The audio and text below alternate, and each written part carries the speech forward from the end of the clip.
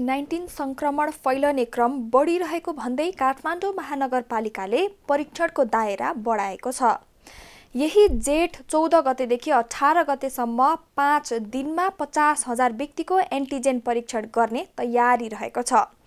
परीक्षणका लागि हरेक दिन दसवटा केन्द्रबाट एन्टिजेन विधिबाट नमुना सङ्कलन गरिने बताइएको छ।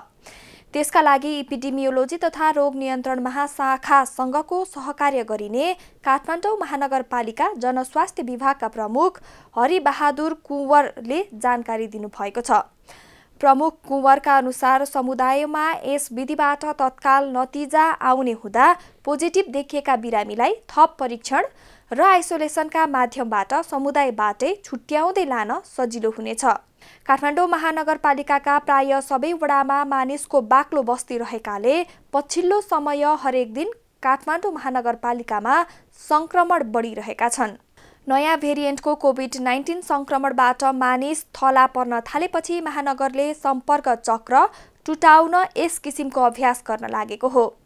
ठुलो समूहमा गर्न लागि यस किसिमको परीक्षणका लागि हाल काम गरिरहेका जनशक्तिले अपुग भए थपेर भए पनि परीक्षण गर्ने बताएका छन्। परीक्षणका लागि वडामा भएका case investigation and contract tracing समूहलाई सक्रिय बनाइनेछ। कोभिडको लक्षण देखिएका कन्ट्र्याक्ट ट्रेसिङमा परेका अग्रपङ्क्तिमा रहेर काम गरिरहेका निषेधाज्ञाको समयमा काम गरिरहेका र जोखिममा रहेका सबैलाई लक्षित वर्ग मानेर परीक्षण गरिने बताइएको छ। परीक्षणका लागि काठमाडौँ महानगरपालिकाका ठुला पन्ध्रवटा वडालाई दुईवटा केन्द्र र सत्रवटा साना वडामा एक एकवटा केन्द्र राखिनेछ। यसअघि कालीमाटी तरकारी तथा फलफुल बजार र टुकुच्चा तरकारी बजारमा गरी दुई ठाउँमा यस प्रकारको परीक्षण सम्पन्न भएको छ। मङ्गलबार बिहानसम्म काठमाडौँ महानगरपालिकामा अन्ठाउन्न हजार चार सय दुईजना सङ्क्रमित रहेका छन्। तीमध्ये छयालिस हजार पाँच सय छयालिसजना निको भइसकेका छन् भने चार सय तिनजनाको कोरोना भाइरसकै कारण मृत्यु भइसकेको छ।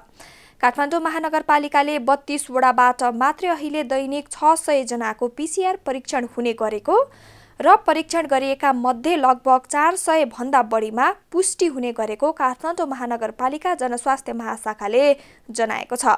सङ्क्रमण बढेपछि अघिल्लो आइतबारदेखि काठमाडौँ महानगरपालिकाले सोह्रवटा केन्द्र बनाएर पिसिआर परीक्षण गरिरहेको छ।